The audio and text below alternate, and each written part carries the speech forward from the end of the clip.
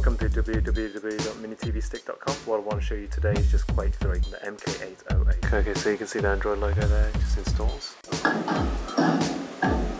It runs really smoothly actually. There is kind of a weird thing going on with the controls so and if I click on the screen you can see the cursor so usually that target follows your mouse but if I let go of the, my left click so what I'm going to do is just drag it down here then click again you can see it just slows so I've got it on the highest details here too so it's all pretty pretty good. Let's move around.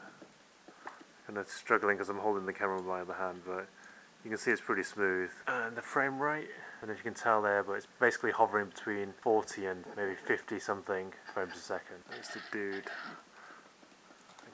Okay, let's move and take that. Uh, something else I found is that, I mean, this is more of an issue with this port. The mouse settings are a bit strange. So you see that drag, it's, it's not quite right. I'm sure they'll fix it, but right now it's a little bit strange. It's not really that playable. Resolution is 1280 by 1024, and the text details, and texture quality is at 32-bit. Just shows an ARM processor.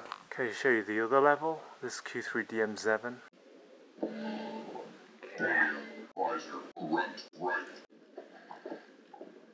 I'll say no problem. Let's have a look. I can't sure shoot. Uh, scrolling is very fast. And again, you can see the frame rate. It's pretty good. So here's Q3 DM17.